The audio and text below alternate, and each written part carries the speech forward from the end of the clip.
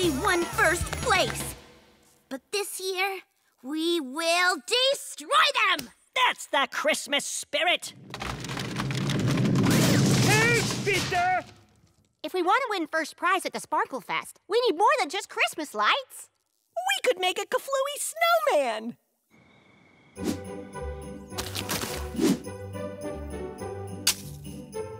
Or a Santa Claus crystal sculpture. Even better, Santa's sleigh pulled by the ants from Aunt Urbia. Huh? It appears the lab security has been breached by an intruder. No, it's my Santa trap! Finally got him! Santa Claus detained.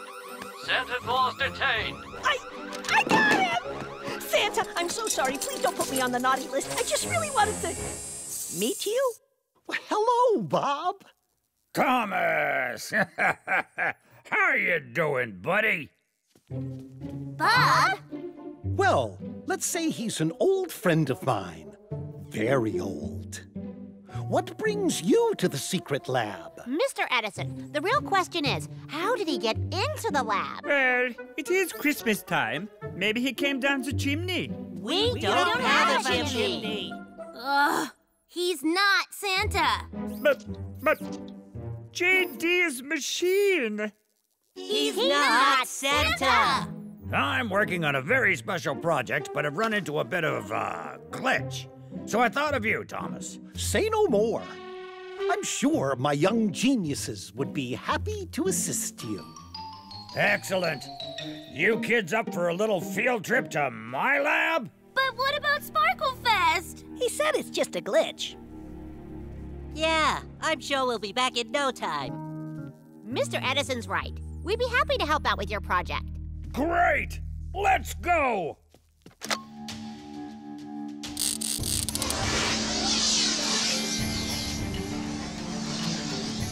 Wow!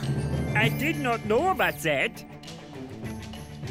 Imagine how surprised Bob and I were when we first realized that our labs were connected by a wormhole. That's a theoretical passage through space-time. That could create shortcuts for very long journeys.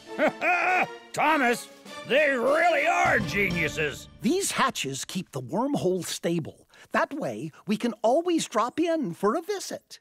Very handy when you run out of eggs. or need a new light bulb. Let's go. Time is of the essence. Go! No way am I going through that! I suffer from vermophobia, okay? The sight of worms makes you anxious? Anxious, wheezy, sweaty. Grossness! Kent, there are no worms in a wormhole. How do you know for sure? It might be full of long, slimy, wiggly parasites. You should pay a quick visit to another friend of mine in Princeton, New Jersey, 1955.